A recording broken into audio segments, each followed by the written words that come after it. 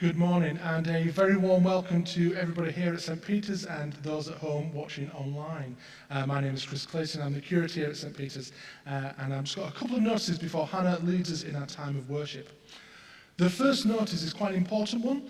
It is just to let you all know that because of the recent PM's announcement about COVID and restrictions continuing, we will not be re, uh, returning back to a full schedule of services next month. So we won't be going back to full five services. We'll continue as we are. There might be one or two changes, uh, but we will inform you and let you all know once we've had our PCC meeting to decide how we reopen the church and, and the new schedule. So apologies, we've absolutely wanted to open up as, as, as much as we could, but we're just not able to do that at the moment. Um, so we will keep you informed. Um, Secondly, uh, a big thank you to uh, the St. Peter's Walkers, I have now classed them as. Uh, they went out walking yesterday from a range of 3 miles to 17 miles, I believe, was the uh, longest person, uh, the longest walk. Uh, and they did it to raise money for, the, for St. Peter's Church. And if you want to donate to that, either with your legs next time or with uh, money this time, you can do that by looking for the yellow envelopes at the front. But they do have a specific sticker on the back for the parish walk. Um, so they're at the, the desk there and at the back. I will now hand over to Hannah, who will lead us in our time of worship.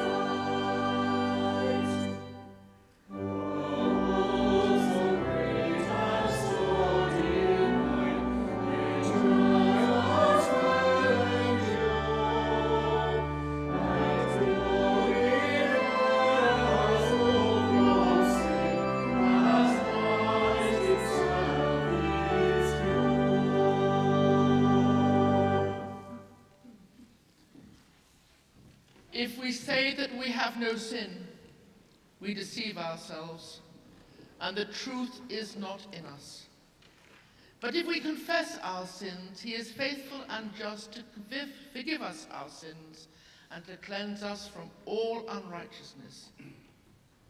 Dearly beloved, the scripture moveth us in sundry places to acknowledge and confess our manifold sins and wickedness, and that we should not dissemble nor cloak them before the face of Almighty God, our Heavenly Father, but confess them with a humble, lowly, penitent and obedient heart, to the end that we may obtain forgiveness of the same by his infinite goodness and mercy.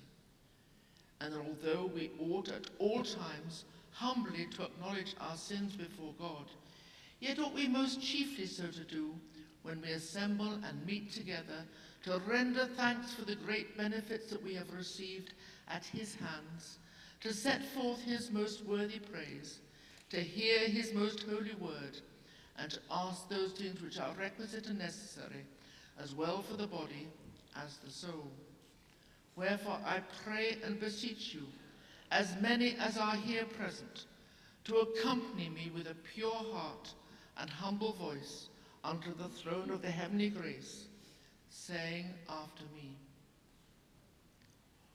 Almighty and most merciful Father, we have erred and strayed from thy ways like lost sheep. We have followed too much the devices and desires of our own hearts. We have offended against thy holy laws. We have left undone those things which we ought to have done, and we have done those things which we ought not to have done. And there is no help in us. But thou, O Lord, have mercy upon us, miserable offenders, that therefore thou, God, which confess their faults, restore thou them that are penitent, according to thy promises declared unto mankind, in Christ Jesus our Lord. And grant, O most merciful Father, for his sake, that we may hereafter live a godly, righteous, and sober life, to the glory of thy holy name. Amen. Almighty God, the Father of our Lord Jesus Christ, who desireth not the death of sinners, but rather that they may turn from their wickedness and live, and hath given power and commandment to his ministers to declare and pronounce to his people, being penitent, the absolution and remission of their sins. He pardoneth and absolveth all them that truly repent and unfeignedly believe his holy gospel. Wherefore let us beseech him to grant us true repentance and his Holy Spirit, that those things may please him which we do at this present, and that the rest of our life hereafter may be pure and holy, so that at the last we may come to his eternal joy through Jesus Christ our Lord. Amen. Our Father, which art in heaven, hallowed be thy name. Thy kingdom come, thy will be done in earth as it is in heaven. Give us this day our daily bread, and forgive us our trespasses, as we forgive them that trespass against us. And lead us not into temptation, but deliver us from evil. For thine is the kingdom, power, and the glory, forever and ever. Amen.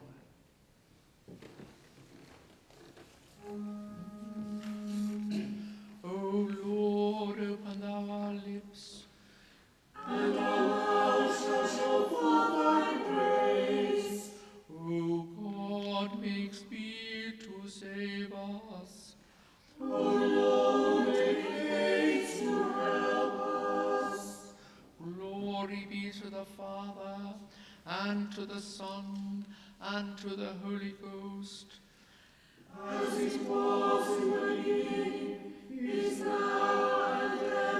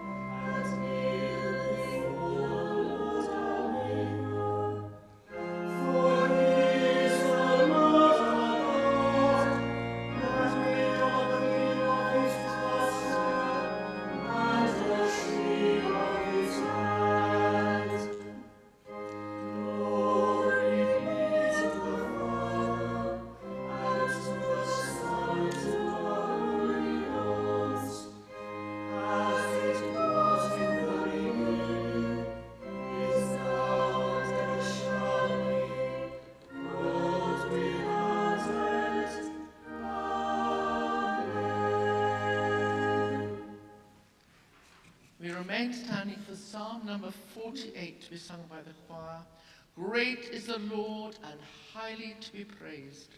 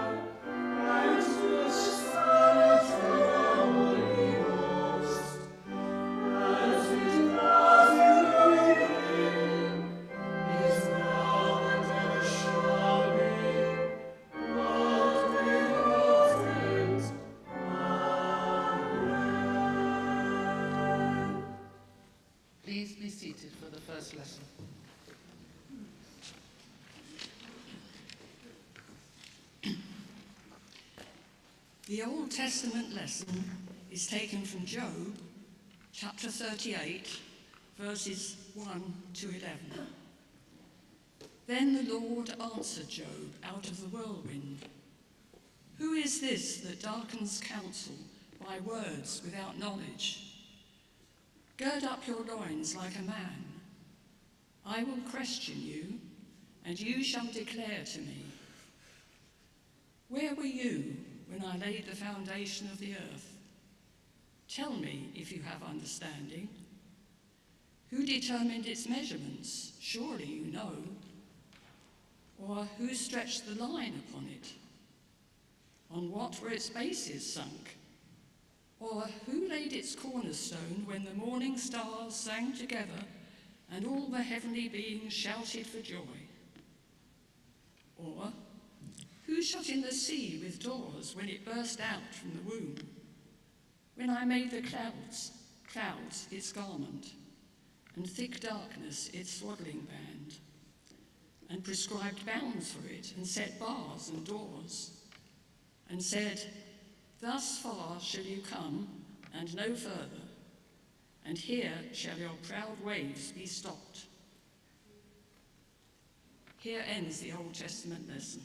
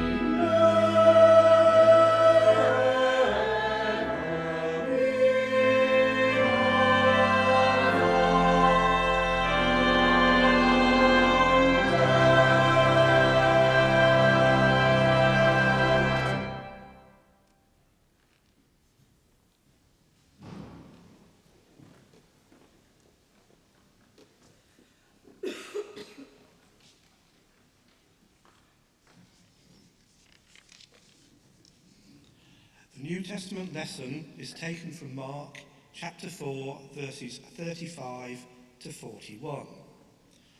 On that day, when evening had come, he said to them, Let us go across to the other side. And leaving the cloud behind, they took him with them in the boat, just as he was. Other boats were with him. A great gale arose, and the waves beat into the boat, so that the boat was already being swamped. But he was in the stern, asleep on the cushion. And they woke him up and said to him, Teacher, do you not care that we are perishing? He woke up and rebuked the wind and said to the sea, Peace, be still. Then the wind ceased and there was a dead calm. he said to them, Why are you afraid? Have you still no faith? And they were filled with great awe and said to one another, Who then is this that even the wind and the sea obey him? Here ends the New Testament lesson.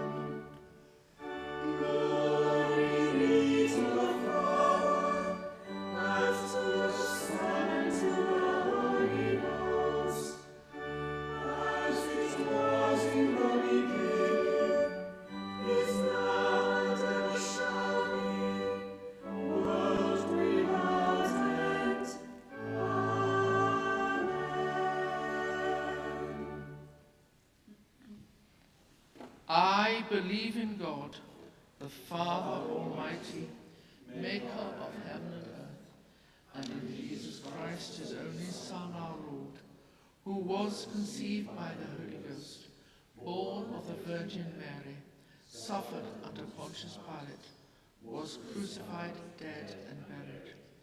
He descended into hell. The third day he rose again from the dead. He ascended into heaven and sitteth on the right hand of God the Father Almighty. From thence he shall come to judge the quick and the dead. I believe in the Holy Ghost, the holy Catholic Church, the communion of saints, the forgiveness of sins, the resurrection of the body, and the life everlasting. Amen. The Lord be with you.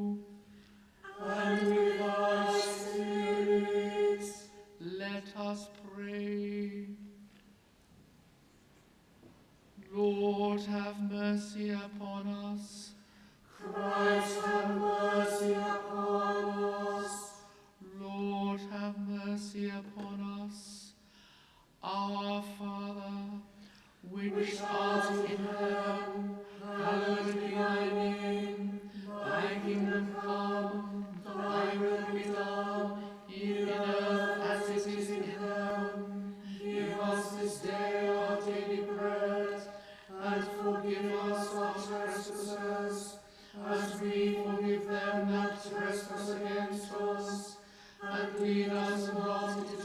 temptation, but deliver us from evil. Amen. O Lord, show thy mercy upon us. And grant us thy salvation. O Lord, save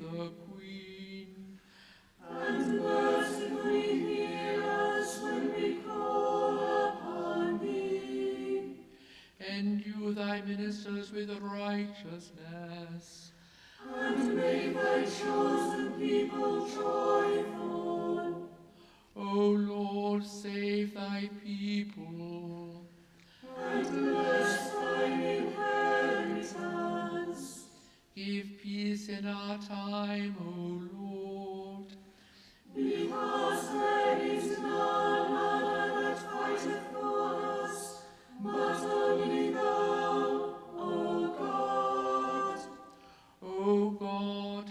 make clean our hearts within us. And take not thy Holy Spirit from us. O Lord, we beseech thee mercifully to hear us, and grant that we, to whom thou hast given an hearty desire to pray, may by thy mighty aid be defended and comforted in all dangers and adversities, through Jesus Christ our Lord. Amen. O God, who art the author of peace and lover of concord, in knowledge of whom standeth our eternal life, whose service is perfect freedom, defend us, thy humble servants, in all assaults of our enemies, that we, surely trusting in thy defense, may not fear the power of any adversaries, through the might of Jesus Christ our Lord. Amen. O Lord, our heavenly Father, almighty and everlasting God, who has safely brought us to the beginning of this day, defend us in the same with thy mighty power, and grant that this day we fall into no sin, neither run into any kind of danger, but that all our doings may be ordered by thy governance, to do always that is righteous in thy sight, through Jesus Christ our Lord. Amen. The anthem this morning, I Love All Beauteous Things by Judith Weir.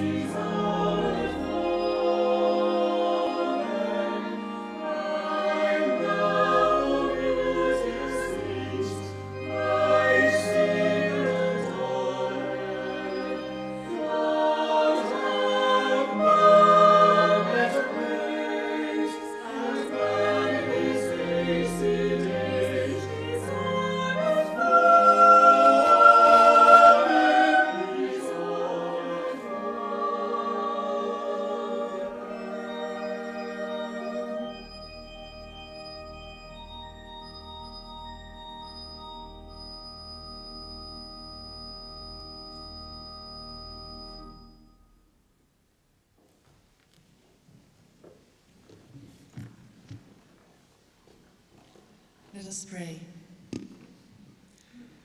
Lord, you call us to love and serve you with body, mind, and spirit. Through loving your creation and our sisters and brothers, open our hearts in compassion and receive these petitions on behalf of the needs of the church and the world. Lord, help us to build on the values of your eternity. May your kingdom grow all over the world.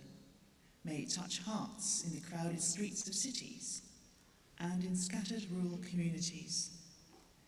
May people be drawn to you through us, as our actions are living testimony of your love and generosity.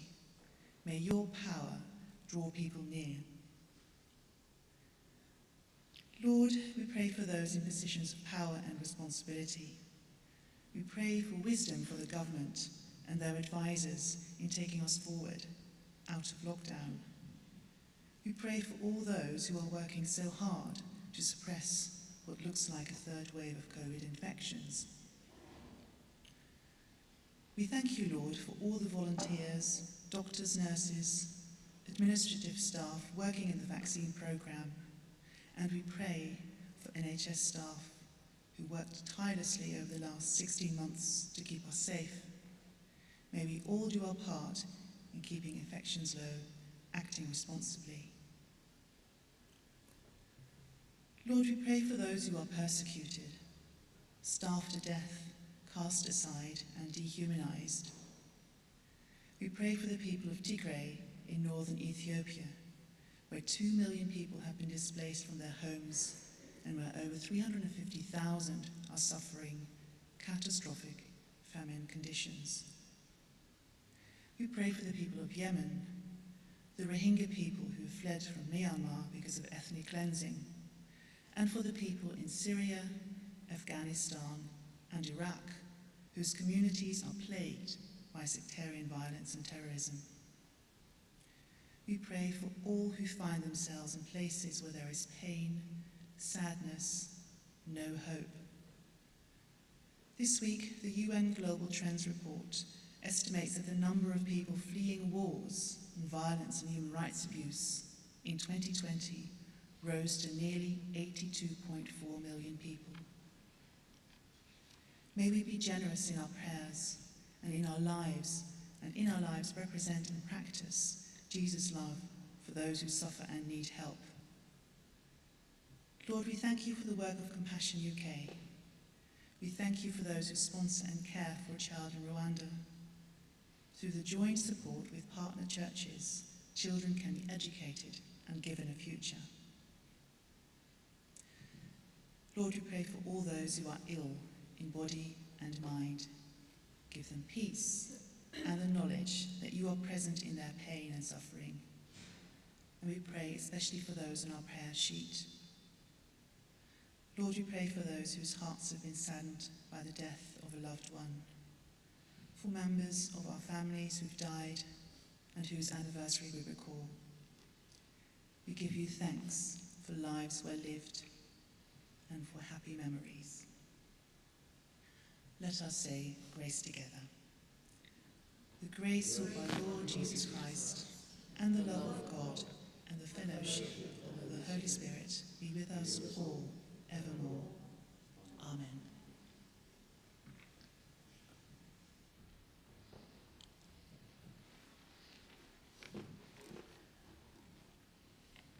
Let us stand to join with the choir as they sing and we join in our hearts for him As Pants the Heart for Cooling Streams.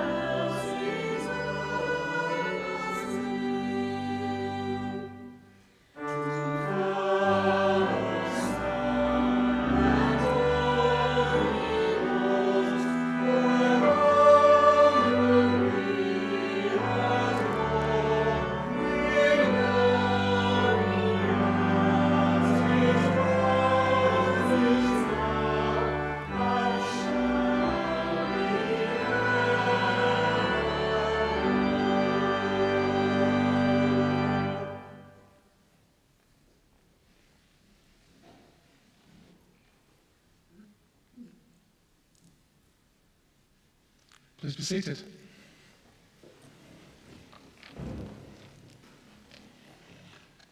May I speak in the name of the Father, and the Son, and the Holy Spirit. Amen. Jesus Christ, divinely human. I want to explore that statement. What's behind Jesus Christ, divinely human? Well, in today's gospel reading, we experience both sides of Jesus. We experience the human and the divine, the fragile and the powerful. The first verse clearly states that this is at the end of the day. Verse 35 the day when evening came. So, what kind of days Jesus had? Has he been relaxing with the disciples, having a picnic? Not really. It's probably one of the most intense days that you could ever imagine. And we actually need to go all the way back to chapter 3 to see the start of this day. The reading today was chapter 4, verse 35, right in the middle. So there's a whole chapter and a half before we even get to our part.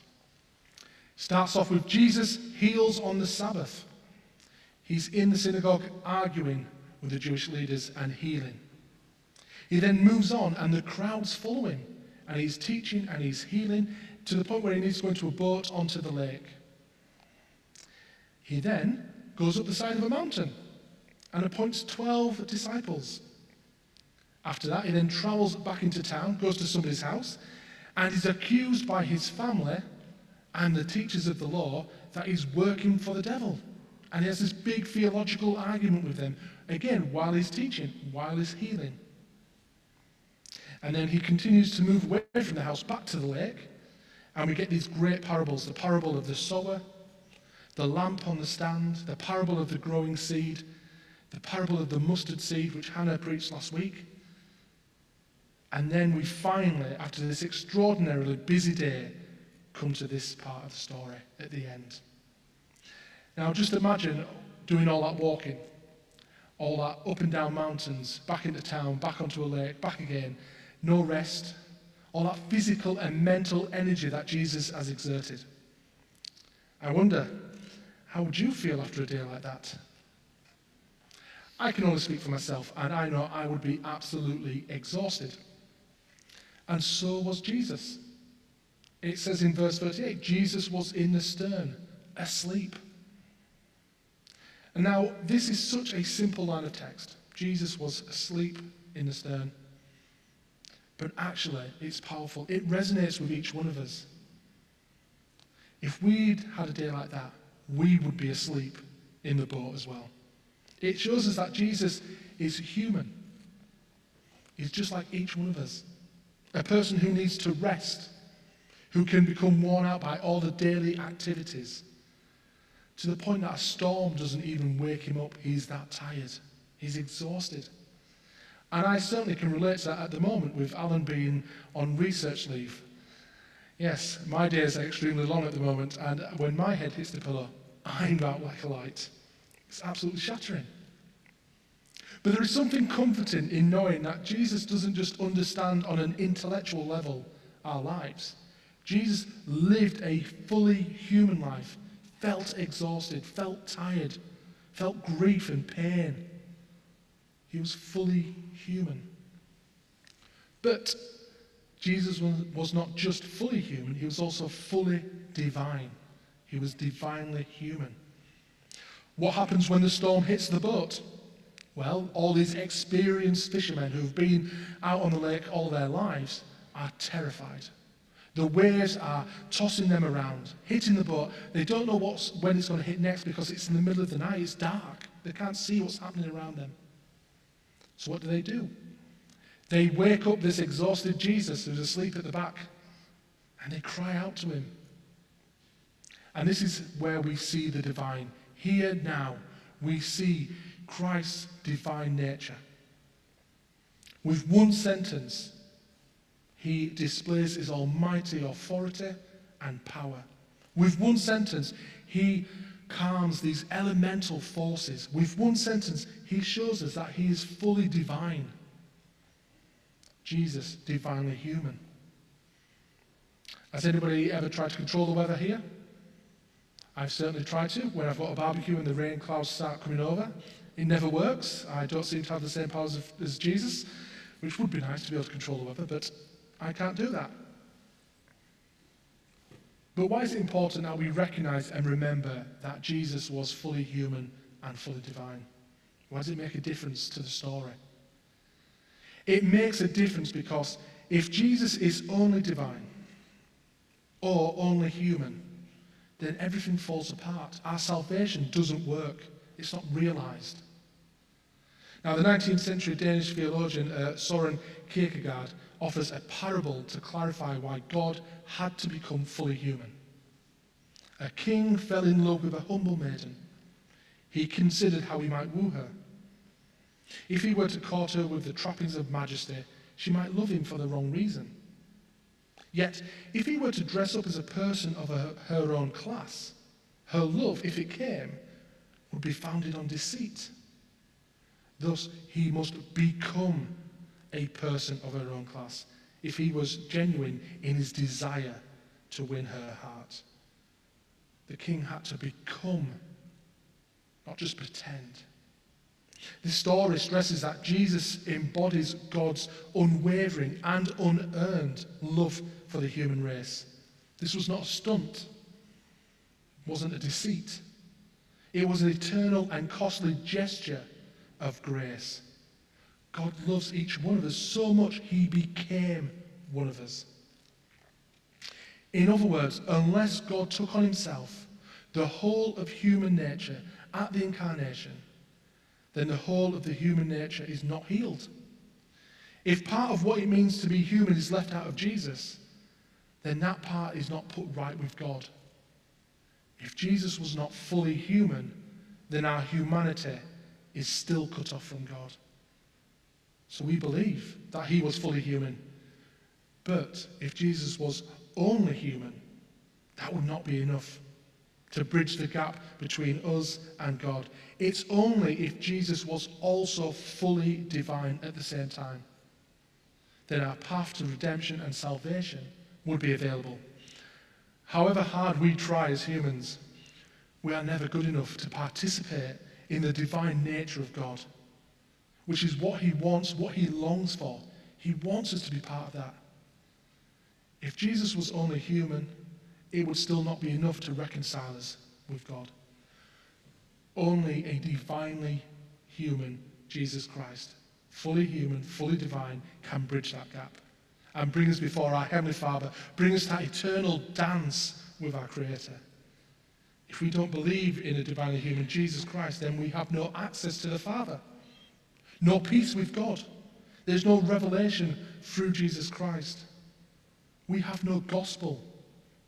It doesn't make sense, it doesn't work. But when we do believe that Jesus was fully human and fully divine, then the gospel brings life. We are in relationship with our Father in heaven. We have peace with God. Jesus demonstrates the passion that God has for his creation by coming down and sacrificing himself for each one of us. We are saved by the grace of God. So please, as you read the story, this, para, this story, of the calm of the storm, remember the human, exhausted Jesus and the divine, powerful Jesus, one and the same. Jesus Christ, divinely human. Amen.